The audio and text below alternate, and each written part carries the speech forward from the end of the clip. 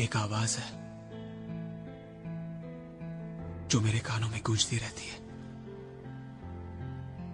एक चेहरा है जो मेरे आँखों के सामने बाहर बाहर आ जाता है। मेरे दिल का सुकून थी वो।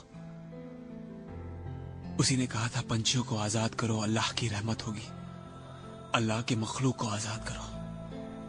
उसने कहा था, एक मजलूम को आज़ाद करने का मतलब है सारी इंसानियत को आज़ाद करना। आज मौका मिला है। उसकी बात पर अमल करने का। और मैं वही कर रहा हूँ। मलिक साहब, जिनके अपने सपने पूरे नहीं होते ना